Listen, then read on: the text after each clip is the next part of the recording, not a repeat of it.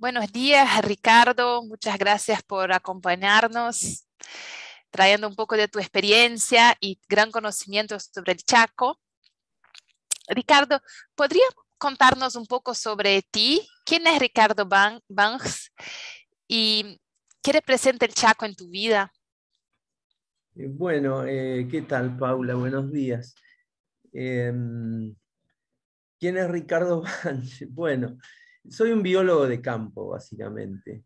Eh, si bien hice estudios formales en la universidad, este, en un ámbito muy dedicado a la investigación científica, mm, muy poco tiempo después de recibirme, este, ya empecé a trabajar en el campo. Allá por el año 86 pisé por primera vez la zona este de, de Formosa, en el Chaco húmedo, y el mismo trabajo, que era sobre este, biología reproductiva del cardenal común, el cardenal rojo, me llevó después al centro de Formosa, donde empecé a tomar contacto con lo más interesante, los pobladores que habitan eh, la región chaqueña. En este caso empecé a tomar contacto con comunidades huichí y pilagás.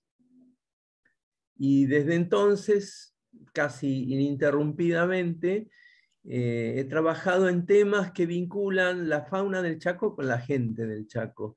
Y la vinculación entre la gente y la fauna es eh, más que nada de aprovechar esa fauna, de aprovechar para comer, aprovechar para vender y aprovechar para que eh, subsistir básicamente. Gracias, Ricardo. Es súper interesante esta manera súper concreta en que trabajas con, la fauna y el monte chaqueño. Te quería preguntar, imagínate que estás con un chico, ¿no? Un chico o una chica, y te pregunta, ¿cómo es el monte chaqueño? ¿Has estado ahí? ¿Qué le contarías? Bueno, el Chaco tiene como dos partes bastante distintas. Eh, la parte oriental, estoy hablando siempre del Chaco argentino, ¿no? Porque el Chaco sabemos que también se extiende este, gran parte en Paraguay, gran parte en Bolivia y una pequeña parte en Brasil también. Este, el Chaco argentino tiene dos partes eh, que no están divididas por una línea clara, sino que es una transición desde una zona más húmeda en el este, donde este, predominan zonas bajas, bañados, esteros, palmeras, pastizales amplios, es, decir, y, algunas eh, isletas de monte, ¿no? Es un paisaje relativamente abierto, con, isletas de monte, y cada vez que nos vamos más hacia el oeste, se va cerrando más el paisaje hasta convertirse en un este, bosque casi continuo, ¿no? Por lo menos hasta que llegaron las topadoras para abrir este lugar para hacer los cultivos, así era. Este, y el Chaco eh, oriental es, como más bello a la vista, ¿no? Es como más lindo. Este, a los chicos les puede gustar más porque uno puede ver a lo lejos. El Chaco occidental, este, yo lo podría comparar como tomar un mate cuando uno es chico y toma de golpe un mate, y bueno, al principio es medio amargo, porque uno lo ve, este, el chaco es medio todo igual, este, muchas plantas tienen adaptaciones a la sequía, entonces son espinosas, eh, salvo en algunos lugares de, de, los pocos ríos que cortan el chaco, uno no tiene una visión a la distancia, el monte está encima, salvo que uno vaya en avión o en helicóptero o se suba a una torre, no podés ver a la distancia, es algo muy, este, todo muy cerrado. Pero con el tiempo uno toma un mate, toma otro y le va a gustar. Y después no deja más el mate, sigue tomando mate toda la vida. Qué lindo. Y, y esa particularidad que tiene el, Chaco semiárido es que tiene mucha gente viviendo adentro, gente eh, de la zona, gente del lugar que nació y vivió toda su vida en contacto con esa naturaleza. Esa gente es eh, de la cual uno puede aprender realmente lo que es el Chaco. ¿Mm? Esa es la gente que, vale la pena este, ir al Chaco para hablar con esa gente. Digamos, una cosa es el paisaje y otra cosa es interpretar el paisaje a través de la gente que lo vivió toda su vida. En el Chaco Oriental es un poco distinto porque si bien hay gente este, viviendo en el campo todavía, este, son parcelas más grandes, son estancias, es más difícil, está cortado. Este tema de las estancias en el Chaco semiárido también está avanzando. Cada vez son campos más grandes, se van privatizando, pero todavía queda mucha gente viviendo en el Chaco. ¿Vos dirías que esa es la principal causa de, la deforestación hoy día? Eh, para, el, eh, para, el, Chaco semiárido, este, la conversión de tierras en cultivos y eh, en los casos también que se hace una ganadería donde se hace tabla rasa con, este, eh, con la vegetación nativa, sí, es uno de los problemas más importantes que, tiene el Chaco semiárido. ¿no? Eh, también hay sobreexplotación de madera en algunos casos, es decir, también hay mucha degradación. Y, y no es que yo estoy en contra de que se cultive ni, en contra de sacar madera. Este, todos utilizamos todo, y más los habitantes de las ciudades. El tema no es qué hacemos, sino en qué magnitud lo hacemos y cómo lo hacemos. Y eso hasta ahora no tiene un, límite, no tiene una contención, no tiene un rumbo. Es una eh, explotación casi minera. Tomemos todo lo que podamos y se acabó. Y eso lleva a la degradación de ambientes y obviamente este, si uno saca el ambiente, nada natural puede existir ahí. Sí, vamos a un desequilibrio hacia donde estamos caminando. Ricardo, vos hablabas de, de, lo hermoso que es escuchar a las personas que viven en el Chaco. Nosotros en la colección Compañeros del Monte eh, estamos trabajando con Reinaldo Prado, un pintor wichí, que eh, si bien no está contando con palabras cómo es la vida ahí, ilustra en sus cuadros cómo es en su visión el monte chaqueño, la relación de la comunidad y de su cultura con el monte. Y en estas imágenes siempre vemos a chicos recogiendo algarrobos, chicos y chicas, subiendo en árboles, recogiendo el algarrobo. Y el algarrobo realmente está quedando cada vez más popular en Argentina, ¿no? Veo que mucha gente consume la harina. ¿Qué usos tiene este árbol?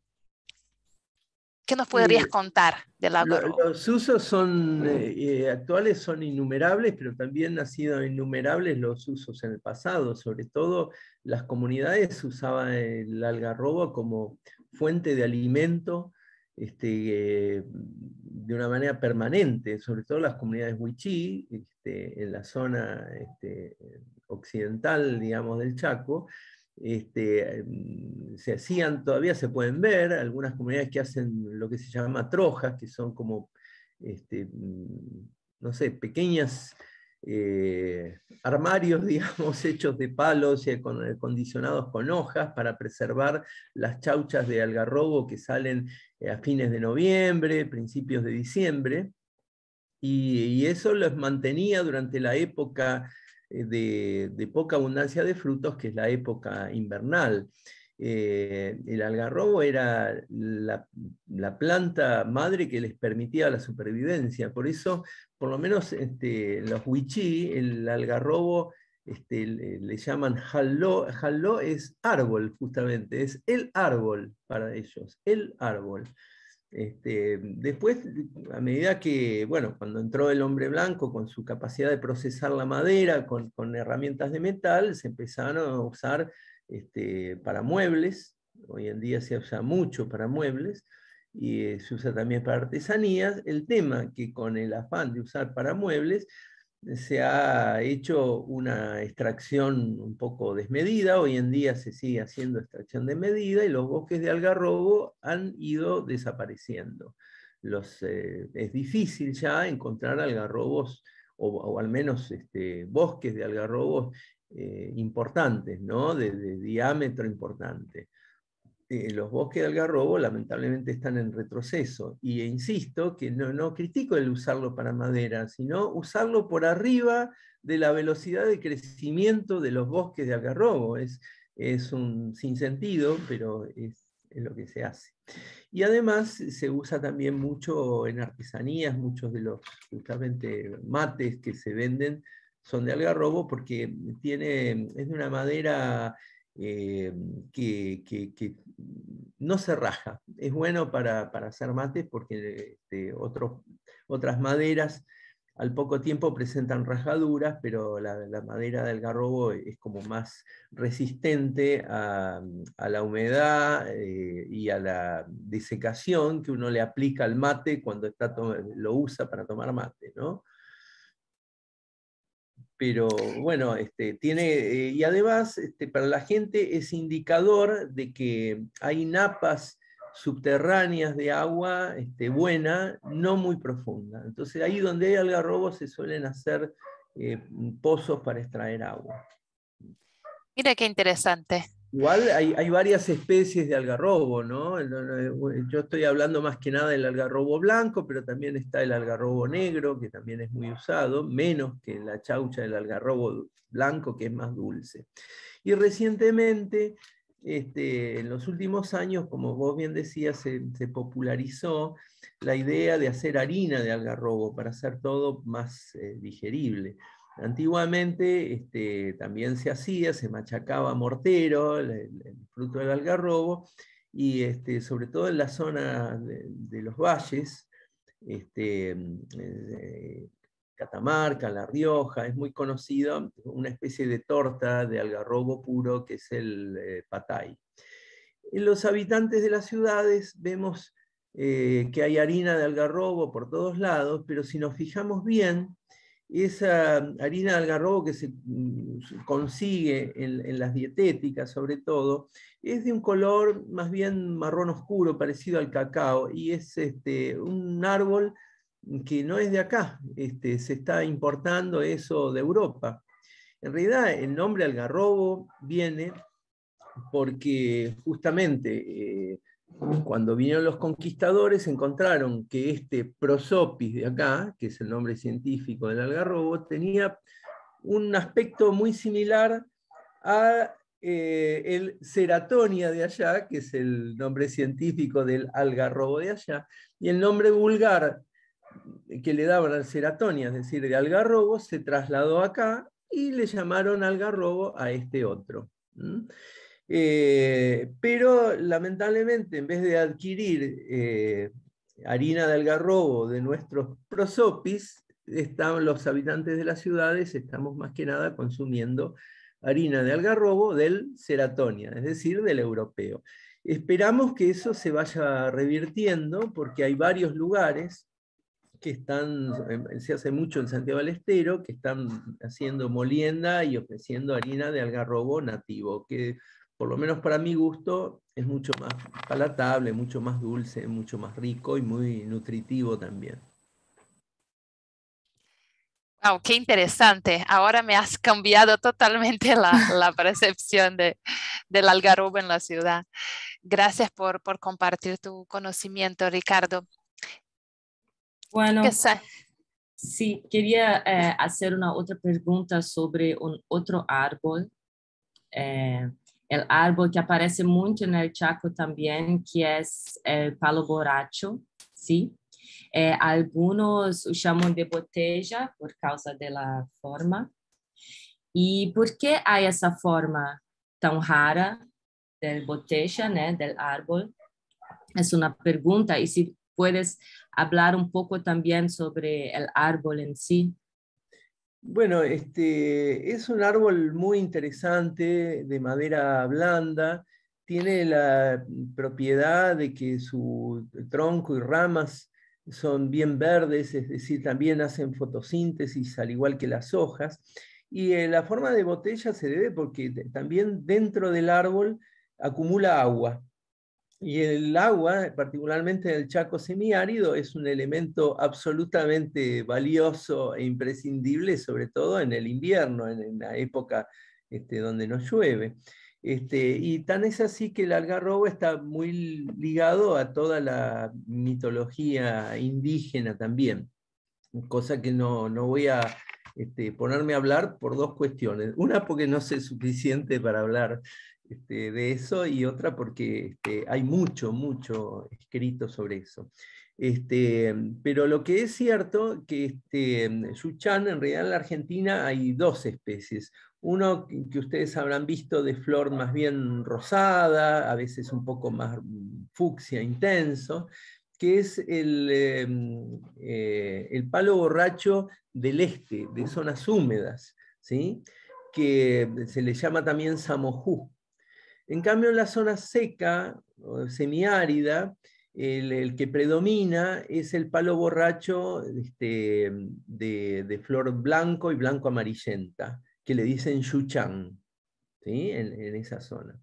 Este, esta condición de tener agua adentro y ser tan valorada por los habitantes del Chaco hace que cuando nosotros por ahí este, vamos este, por la orilla de una picada, de un camino, vamos a ver que tiene como una especie de, a veces le han hecho un agujero adentro.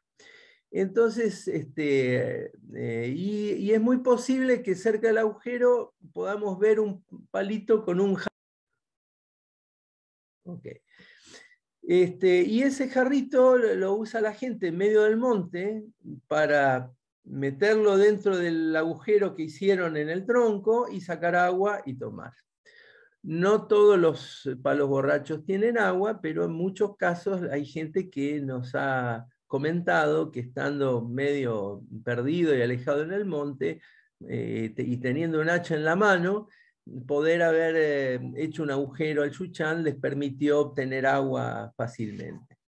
Este, otra, una vez que eh, cuando el, el por ahí deja de tener agua dentro por alguna razón, muchas veces también lo usan para guardar cosas, porque adentro es hueco. Inclusive lo usan como troja. ¿sí? Troja es lo que yo les comentaba para guardar este, chauchas de algarrobo junto con, este, hojas de plantas para que no se, se, se ponga feo el algarrobo. Este, es decir, que tiene muchos usos y eh, también lo usaban como porque la madera es muy, eh, muy blanda y liviana eh, para hacer canoas también los, los habitantes de la zona, para navegar, por ejemplo, el río Bermejo. y esto que ustedes ven ahí atrás, hablando de artesanías, son artesanías hechas justamente de madera de yucham. Y ahí hay un tema que a mí me preocupa mucho, porque eh, los pocos artesanos que están haciendo cosas tan extraordinarias como las, que ven, si quieren hacer una mascarilla después si la ven bien en detalle, eh, no tienen asegurada su fuente de recursos. Para, para usar, eh, para hacer estas máscaras necesitan no cualquier yuchán, necesitan una parte del yuchán, y el yuchán tiene que estar verde, no, pueden usar madera seca, no pueden usar cualquier yuchán. Entonces, la disponibilidad de eh, madera para hacer estas extraordinarias artesanías que son famosas en todo el mundo, eh, es cada vez más limitada y es un problema. Y muchas de estas comunidades no tienen tierras propias. Entonces están viendo dónde pueden entrar pidiendo permiso o a veces no, para conseguir eh, yuchán para hacer artesanía, para poder venderlas y poder subsistir. Y a veces las artesanías a ellos no se las están pagando como se las deben pagar. Y hay una relación muy fuerte entre el valor de la artesanía y la presión sobre el recurso. En este caso sería el yuchán. A ver si me explico. Esto también lo vamos, podemos hablar también con los loros, eh, con todas las cosas que se sacan del Chaco. Si a esa gente no les pagan lo suficientemente bien sus artesanías, ¿qué tienen que hacer para vivir? Producir más artesanía. Y para producir más artesanía tienen que derribar más árboles. Y eso presiona sobre el recurso y va a ser, y cada vez tienen que ir más lejos a buscar el recurso y cada vez les cuesta más y cada vez hay menos materia prima para hacer el recurso. Entonces, eh, conclusión, una artesanía bien paga conserva el monte chaqueño, pero tenemos que asegurarnos de que ese dinero le llegue a la persona que hace la artesanía y la que saca el recurso. Es decir, eh, si nos aseguramos que, por ejemplo, estas mascarillas de Yuchan son bien pagas, esa persona puede eh, fabricar mascarillas de Yuchan a la misma velocidad que el monte repone esos Yuchanes. Eso es lo más importante. Es algo, un tema central, central. Bueno, eh, algo tan importante. Sí, no, súper importante, interesante eh, todo lo que decís, Ricardo. Y para mí, que vivo en Buenos Aires, eh, y hay muchos ejemplares de, de Yuchan en la ciudad, ¿no? Entonces es especialmente interesante porque camino con mi hija y vamos viendo Yuchans o palos borrachos y todo lo que me contás me permite crear conversaciones interesantes con ella. ¿Sabes qué otro día ella miró eh, un yuchan que tenemos acá, que se ve de la ventana, y dice, mamá, un árbol de coliflor? Decía que los algodones del yuchan son un coliflor. Y el otro día lo llamó pochoclos. Eh, le, siempre se pregunta, me parece, ¿qué son esos pompones blancos? ¿no? ¿Hay algún uso para esos algodones? ¿Qué son ellos? ¿Qué le puedo contar sobre eso? ese algodón, eh, en realidad el conjunto, la bocha de algodón, es el fruto. Dentro del algodón hay pequeñas semillas negras y el algodón, que bueno, técnicamente se le, en botánica se le dice papus, es un sistema para que la semilla se pueda dispersar. Cuando sopla viento, ese algodón se empieza a abrir, se empieza a secar, y es como una bola de algodón que contiene adentro una semillita y el, viento se la lleva y la dispersa lejos. Es el sistema de dispersión que tienen estos árboles para eh, sus semillas, para poder crecer lejos de la planta original. Este, a nosotros en algún momento, eh, y a varias personas más, se les ocurrió que ese algodón podía servir también este, de, una manera similar al algodón que usamos de, la planta arbustiva, ¿no? que se cultiva mm, para algodón. Es un algodón mucho más suave, mucho más fino. Este, traten de, agarrar una de esas pelotitas cuando cae. Este, y, mm, se van a dar cuenta que, es muy sedoso. Entonces uno podría pensar, pero esto debería tener una aplicación también este, en la industria textil eh, fantástica. Pero hay dos cuestiones. Por un lado, la fibra de, o sea, cada hilito de esa bocha de algodón es relativamente corta, es mucho más corta que la de algodón, es, mucho más difícil de hilar. Y por otra parte, eh, cosechar esas, eh, esas pelotas, esos frutos, digamos, donde está el algodón, se haría realmente dificultoso.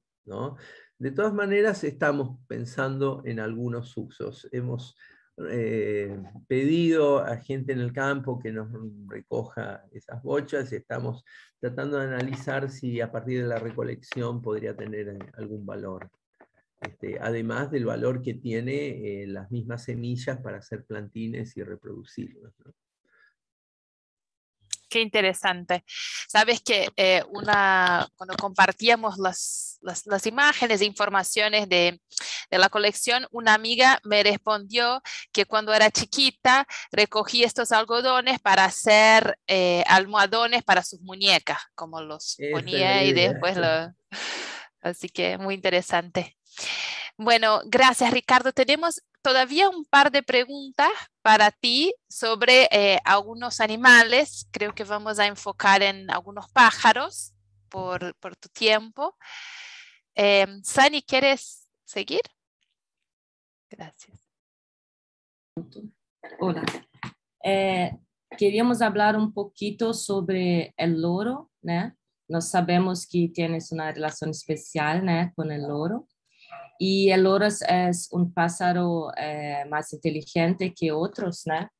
É, qual é a sua capacidade de aprender? E podes nos passar um pouco sobre o loro e tua é, experiência protegendo as especies? Bueno, la verdad que hay muchísimo para hablar de, este loro, este, porque tiene una relación con la gente muy fuerte, justamente porque es capaz de reproducir este, la palabra del ser humano. Este, entonces, y, especialmente por esa cuestión, es un animal que es muy requerido como mascota no solo por los habitantes de la zona de distribución del loro, sino que incluso hace unos cuantos años, en la década del 80, se exportaban de una manera legal y libre eh, decenas de miles de loros habladores por año de la Argentina a diversos países del mundo. Eh, ahí fue cuando yo empecé a involucrarme con mi actual trabajo, eh, este, la entonces Dirección de Fauna Silvestre, porque había la sospecha que sacar cada año decenas de miles de loros del monte para exportarlos, evidentemente podía afectar las poblaciones de los loros y realmente era así. Este, nosotros empezamos a, investigar como en el tema, este, voy a tratar de ser breve porque no, eh, tendría que resumir 20 años de trabajo casi en, unos minutos y, bueno, no, no, es fácil, pero básicamente empezamos a ver cómo era el comercio de ese momento y vimos una cantidad de problemas muy graves, ¿no? Este, no solo la cantidad de loros era enorme, sino que este, como los loros, eh, lo que se exporta son pichones de loros, básicamente, no animales adultos. Se sacan pichones de los nidos. Los loros este, de pequeños, si tienen contacto con, eh, con alguien que les habla, aprenden a hablar y esos son los loros que son requeridos por la gente un loro adulto que es capturado muy difícilmente aprende a hablar. Entonces, por eso lo que se requieren son loros pichones. Em, en aquel momento nos dimos, eh, bueno, fuimos al campo, contamos, mm, este, íbamos por las rutas contando la cantidad de loros que había, comenzamos a hablar con la gente que sacaba los loros en el campo, con los que iban a buscar esos loros que eran los acopiadores, con los exportadores de los loros, y nos hicimos una idea bastante terrible de cómo era ese mercado, porque muchos este, eh, árboles eran derribados para sacar los pichones de los nidos, eh, porque los los loros hacen nidos en huecos de árboles, en huecos de quebracho, en huecos de quebracho blanco, colorado, de yuchán, eventualmente algarrobo, pero sobre todo árboles relativamente altos y con pocas ramas. Entonces es muy difícil llegar hasta el nido, los huecos son profundos, a veces tienen varios metros de profundidad, con una mano uno no llega hasta donde está la cámara para sacar los pichones, entonces la, solución relativamente generalizada era con un hacha o con una motosierra tirar los árboles y sacar los pichones de ahí. Imagínense eso multiplicado por decenas de miles cada año, cada año, cada año, obviamente iban a ser un impacto importante sobre las poblaciones del oro. Entonces ustedes me dirán, bueno, pero la gente del Chaco se estaba ganando mucho dinero con eso. No, porque los acopiadores le pagaban poco y nada. Y ahí volvemos a lo mismo del Yuchán. La gente para vivir tenía que sacar una excesiva cantidad de loros este, para poder vivir apenas, no para enriquecerse. Entonces, desde en un principio dijimos, bueno, este, una cosa que sería fácil sería prohibir el comercio de loros, que es lo más intuitivo, lo que cualquier persona de ciudad diría, uy, pobres loros y la cantidad de loros que se mueren en el comercio y esto y lo otro.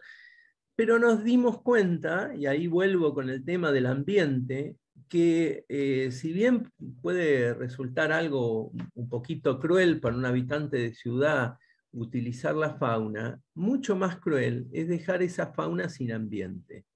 Y estábamos viendo que más allá de, que los loreros sacaban loros, las topadoras seguían avanzando y, este, reduciendo el bosque donde vivían los loros. Y de eso nadie decía nada, nadie dice, ah, vamos a prohibir la agricultura. No, nadie soñaría en hacer eso, ¿no es cierto? Bueno, el verdadero problema, el problema profundo para los loros es eso, que los dejen sin árboles, que los dejen sin comida.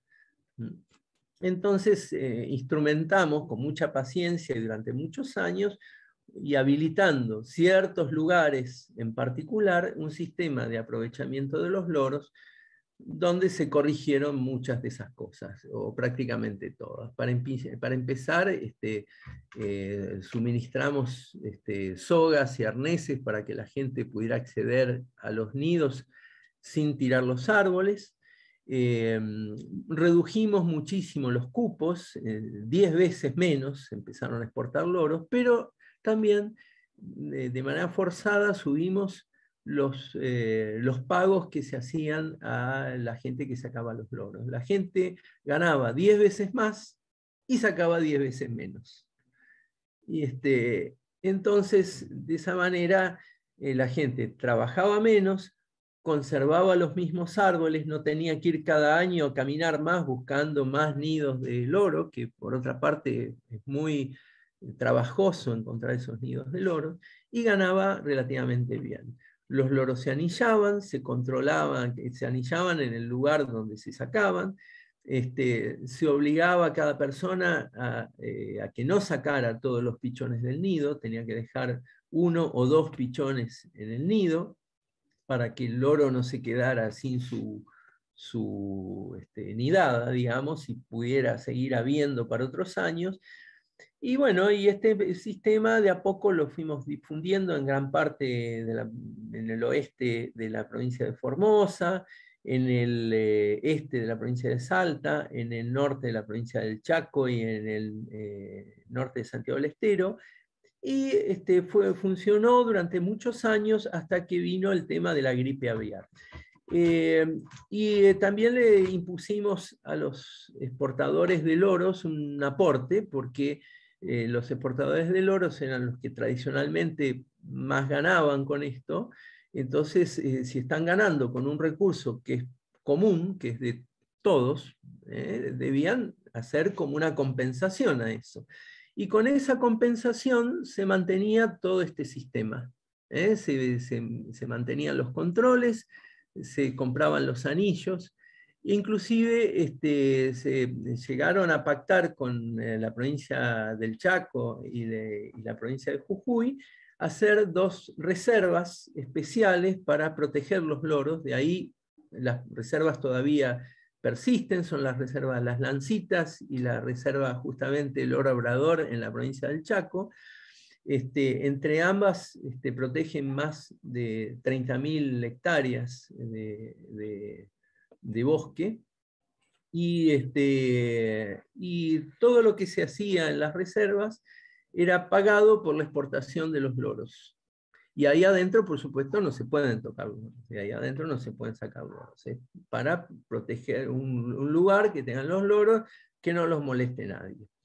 Esto funcionó durante muchos años hasta que por el tema de la gripe aviar, la Comunidad Europea prohibió la importación de aves silvestres de todas partes del mundo. Entonces, no se pudo exportar más loros a la Comunidad Europea y esto este, hizo eh, que este proyecto fuera de a poco apagándose hasta terminar. Eh, pero para los habitantes del Chaco, eh, tener un loro es algo muy importante. Mucha gente saca loritos, los tiene en sus casas y los tiene muy bien como una verdadera mascota. No los tienen en jaulas, los tienen arriba de los árboles.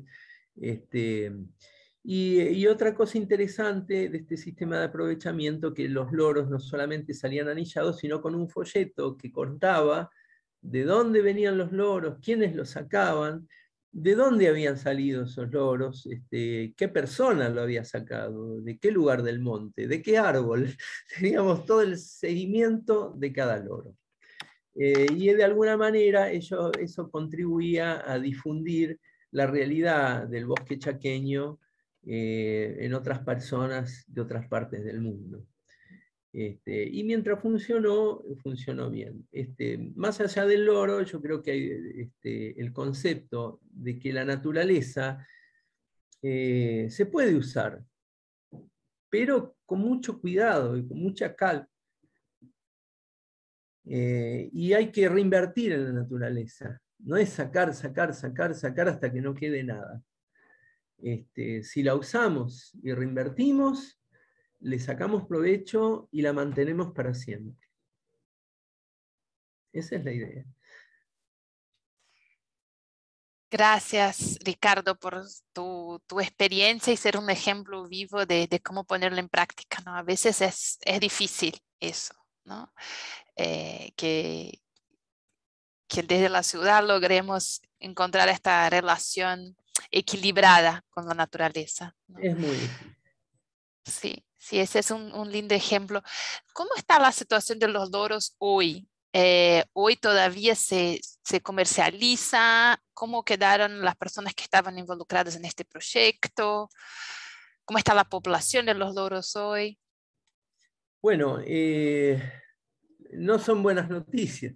Para empezar, este, a medida que la Comunidad Europea, cuando la Comunidad Europea cortó su exportación, hubo que ir a cada uno de los colectores a explicarle cuál era la situación y que ya no iban a contar con ese recurso que era valioso para ellos. ¿no? Esto esa colecta de pichones se hacía en diciembre y se hacía en enero, y a ellos les entraba un dinero muy interesante.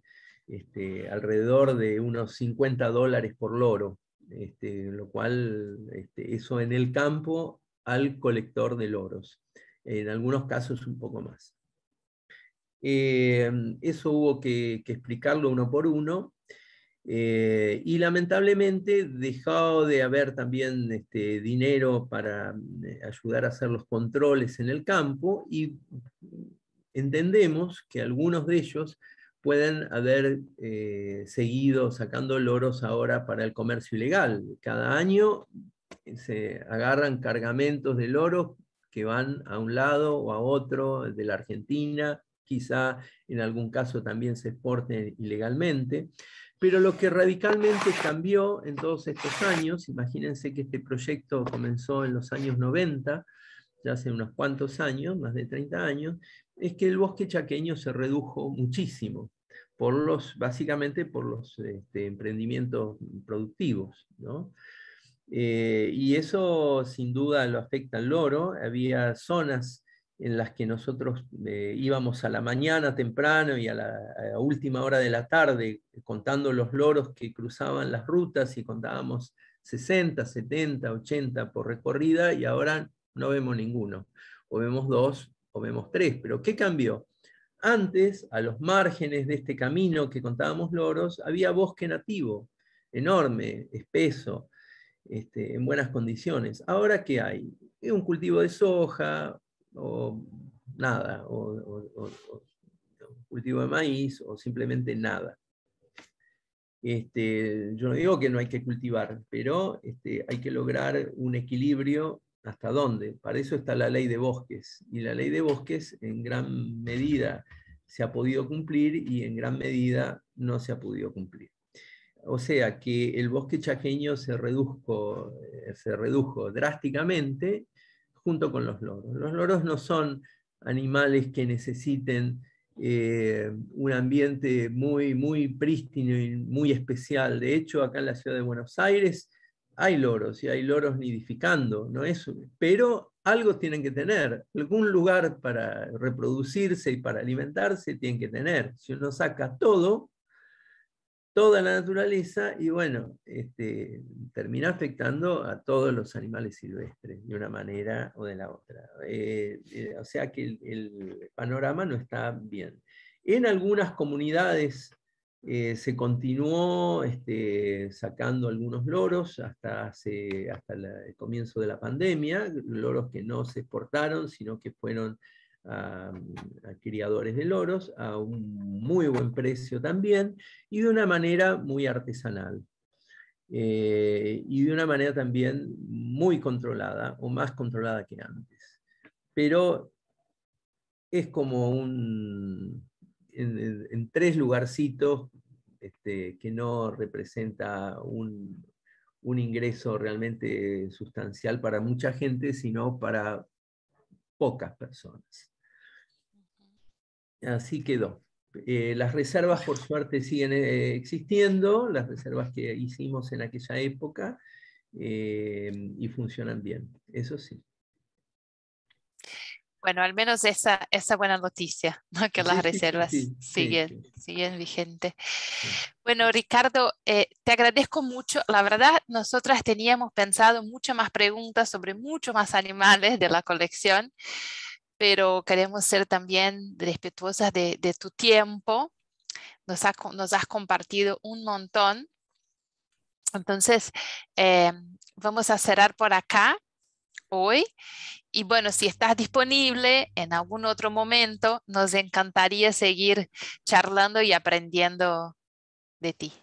Bueno, ningún problema. Cuando ustedes gusten y quieran, seguimos charlando. Fue un gusto para mí también contar estas cosas. Muchas gracias, Ricardo, por la entrevista, tu tiempo y tu trabajo. Por favor. Sí, muy interesante.